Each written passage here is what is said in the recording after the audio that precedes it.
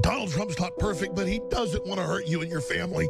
Hillary and Obama want to make you poor and pathetic. We have all their white papers. They hate you. They hate prosperity. They hate God. They hate children. And goddamn them to hell. I, we're going to find the lever to beat these people, and they're they're going to be beaten. Excuse me, I just get so emotional. Look at her sharp face. Have to look at her with that demon face. That's a freaking demon. Excuse me.